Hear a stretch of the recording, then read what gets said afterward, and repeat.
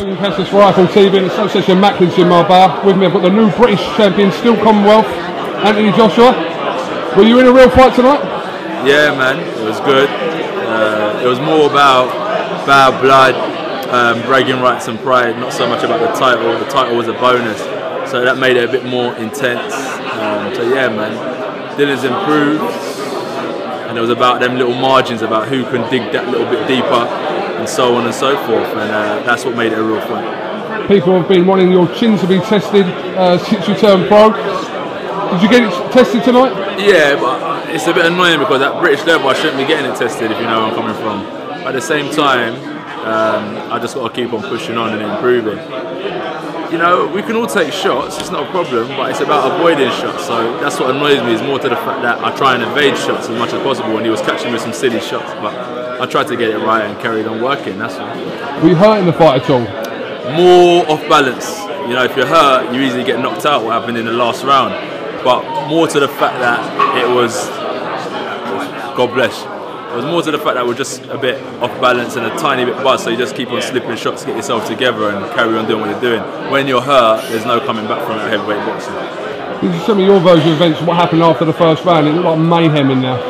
Um, it must have bell, the bell must have just gone, and as I'm still throwing, bang, um, Dillian wanted to turn it into a street fight and have a straightener. His people jumped in, my people jumped in, security jumped in. Shout out to the security, but it would have been ruled off as a no contest. They got us back to our corners and the fight continued, and uh, and that's all it was really. You know. So he didn't shake your hand after the fight, I believe. Yeah, you disappointed with that?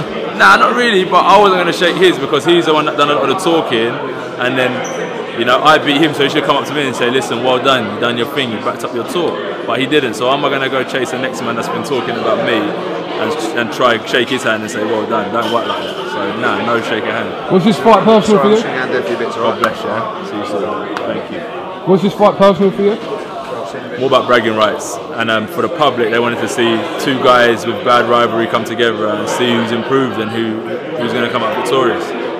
Just finally, obviously, a lot of talk about your next fight now. Chisora has been mentioned, European title possibilities. Will you ever think about that over the Christmas period? Yeah, I think we definitely will over the Christmas period. I want to fight sooner than April. But I don't mind whoever. Copper box, tell him. End, end, I've told him George already. Groves, Copper box, not pay per view, but I don't mind. I've told him already. what's that? Some pictures out there. I don't want to put that on camera, but you know what the social media things like now. People just put out all these funny memes and all that stuff, but uh, I just seen one there, and that could have been me. That's what heavyweight boxing's about. Uh, one of the best finishes, or the best finish of your career. I know you said about Zumbano Love, but the finish tonight was, was pretty emphatic. And. I've got to keep on doing that hopefully for the next 10 years. That's the thing about boxing, you know. Everything I do now is irrelevant because the day I get beat, if it ever happens, then everything's out the window. So I just got to keep on cracking on.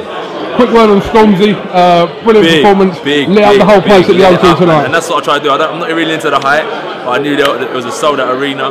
We was in the van listening to the music, and I just sent him a message like, "Come on, we got to make this happen." And you know, he's one of the boys, and he said, "Listen, I'm going to do that for you." He come do the mic check today. We, we, I messaged him Friday. Saturday he turned up, done the mic check, and he performed. That's what we do. That's what love's about, man. So shout out to Stormzy. Shout out to everything you've done for the show and myself this evening. Lastly, the champ lost his third amateur fight. Like myself, Like yourself, have you got any advice to him? I'm not there yet to be giving advice, but if I was to, just take a leaf from my book. Just keep on progressing, keep on working. I lost my third fight, and what can you do? You're not going to get disheartened and sit down and stop fighting. You're going to keep on going. So, whatever happens, just keep on going, bro. And good luck with the rest of your future. All right. Thank you. All right, Anthony Joshua, thanks so much. I see you. Thank you. I'm going to go get my come through. I'm going to get my bloods. I got to get my blood test done. That is your blood. Come through. Come through. All right, cheers, then.